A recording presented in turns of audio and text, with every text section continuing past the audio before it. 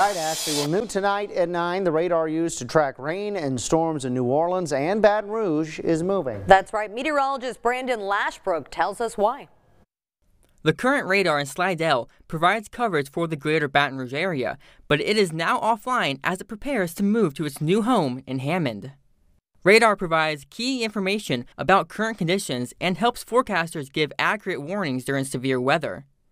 Moving the radar to Hammond and adding a lower scanning tilt will capture a more complete picture closer to the ground when storms form. That lower scanning strategy plus the move closer to the west will provide better surveillance for western portions of the area, including the Baton Rouge metro area. Um, and that will also help us uh, help forecasters better interrogate the storms, uh, hopefully leading to more accuracy in warnings. The radar will be down through the winter months, as this is typically a less active season than the summer. However, strong cold fronts with the potential for severe weather can still be possible.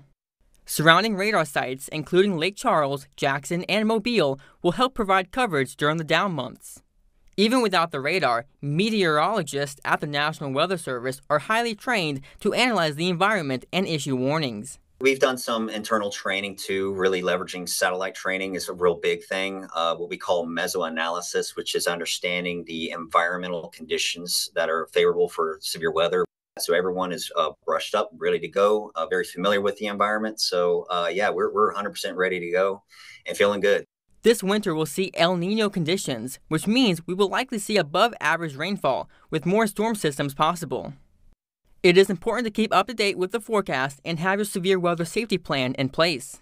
Please make sure you have a reliable way to receive those warnings. Don't think that uh, we got a system coming, but there's no radar up. So maybe I'm not going to get as many warnings. That's not the case. If you do get those warnings, uh, take them very seriously. The plan is to bring the radar back online in Hammond by the end of March next year.